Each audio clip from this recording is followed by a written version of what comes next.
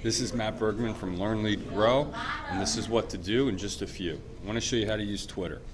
First of all, you want to sign up for an account. Once you sign up for an account, you're going to have your homepage right here. This is your news feed. How do, how do you follow people on Twitter? Very, very simple. If you type in a topic or a person, let's say that I'm interested in tech, you'll have all kinds of different tweets that you've seen appear. If you want specific people, you can go right here, this specific people. And then what you can do is see, all right, who are you following and who are you not following? Let's say that I want to follow Verizon Wireless.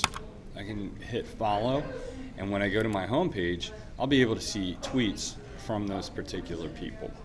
This is a great professional development tool for teachers, and this is what to do in just a few.